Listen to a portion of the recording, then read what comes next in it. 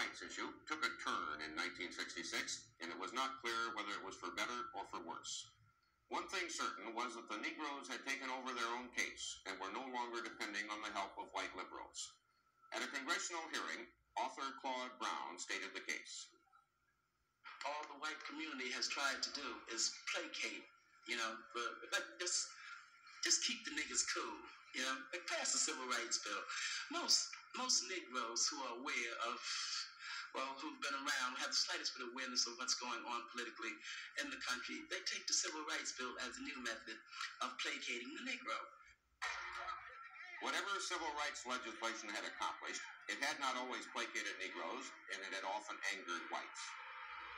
The words white backlash became a familiar phrase. Racial violence occurred most frequently between Negroes and whites who were closest in economic status.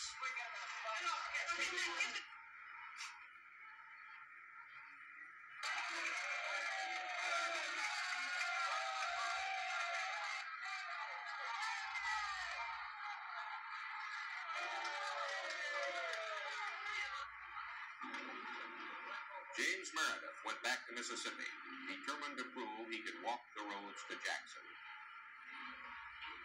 A man with a shotgun proved he couldn't. Meredith was not seriously hurt. Negro leaders rallied around the cause en masse to continue the march that Meredith had begun.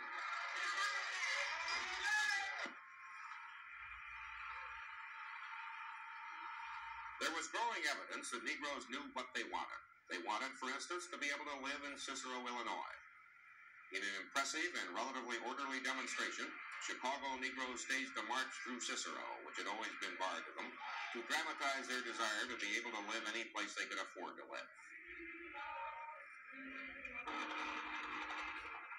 Stokely Carmichael was the militant new leader.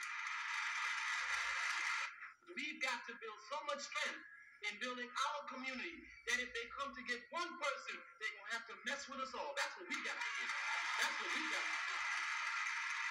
We've got to build so much strength inside our community so that when LBJ says, come here, boy, to my war, we say, hell no, we ain't going.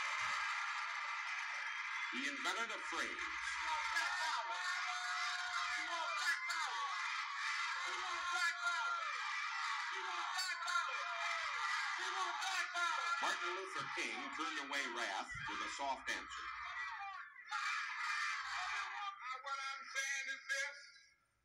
I would like for all of us to believe in nonviolence, but I'm here to say tonight that if every Negro in the United States turns against nonviolence, I'm going to stand up as a lone voice and say this is the wrong way. Congressman Adam Clayton Powell had the answers. Martin Luther King is going through an agonizing reappraisal.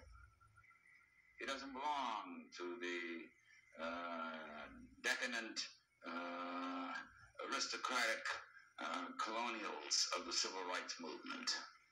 Who were the decadent aristocratic? Well, I don't want to call names, but the names are obvious. Uh, Martin Luther King uh, has done a yeoman job, and he's got the guts to keep on doing it. And once he knows what black power really means, he doesn't know what it means. What does it mean? It means dignity. It doesn't mean violence. It means integrity. It doesn't mean anti-white. It means pride in being black. It means you're willing to cooperate with your white brother and sister if they're going to cooperate with you in terms of giving you the same things that they have.